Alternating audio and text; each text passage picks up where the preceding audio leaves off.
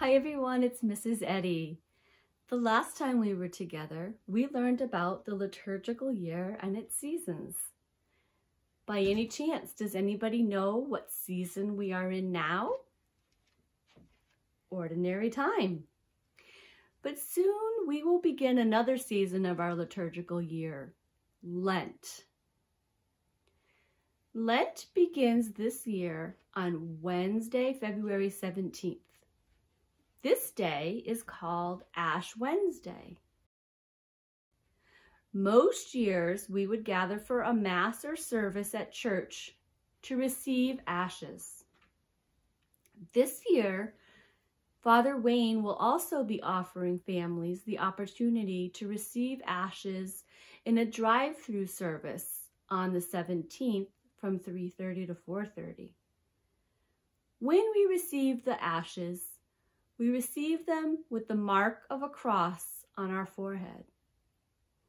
This symbol reminds us that Jesus' death on the cross brought us new life through his resurrection. So the color of Lent is purple, which is the same as the color during Advent.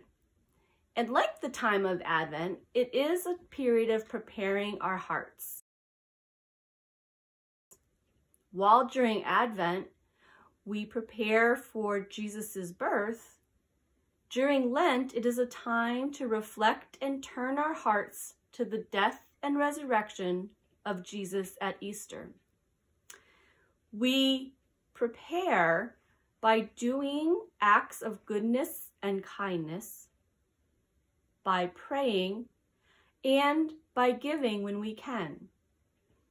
As during the 40 days that Jesus spent in the desert after he was baptized, we too should use this time to refocus our minds and hearts on God. Let's talk about some things we can do during this time of Lent. In your packets that you have at home, there's these beads that are the purple beads. There's 10 of them that are to help remind us to do good things during the day. And as we do, we move each bead on the strings closer to the cross. Because as we're doing these things in Jesus' name, it brings us closer to him and his Father.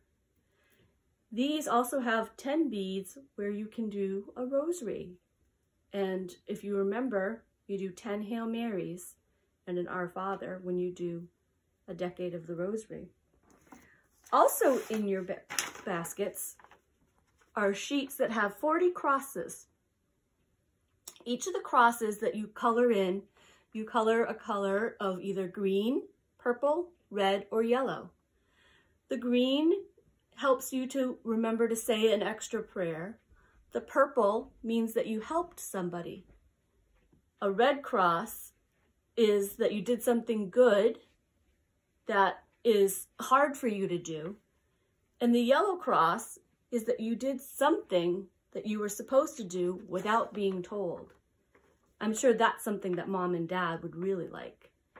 On the back of that sheet are some other family Lenten ideas that you guys can decide as a family or pick some for yourself or come up with some other ones that come into these categories and help color all these crosses during the time of Lent. Before Lent starts this year, there's also on the 14th a sheet in your uh, basket about the drive-through can drive where you can drop off canned goods at the St. Michael's Parish parking lot from 8 to 1. And we have that called Share the Love. And that is what we call giving, which is another way that we can do things during that Lenten season. Another special way to pray during Lent is to pray the Stations of the Cross.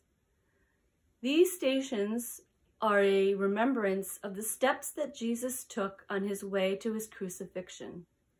This year, St. Michael's will actually be having these virtually every Friday during Lent and is truly a beautiful way to pray as a family during the Lenten season. As the season of Lent draws to a close, we celebrate the shortest yet most holy season of the liturgical year, known as the Three Days, or the Holy Triduum.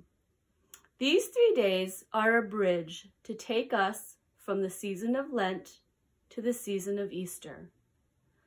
On Holy Thursday, we remember how Jesus washed the feet of his disciples and celebrated the Last Supper.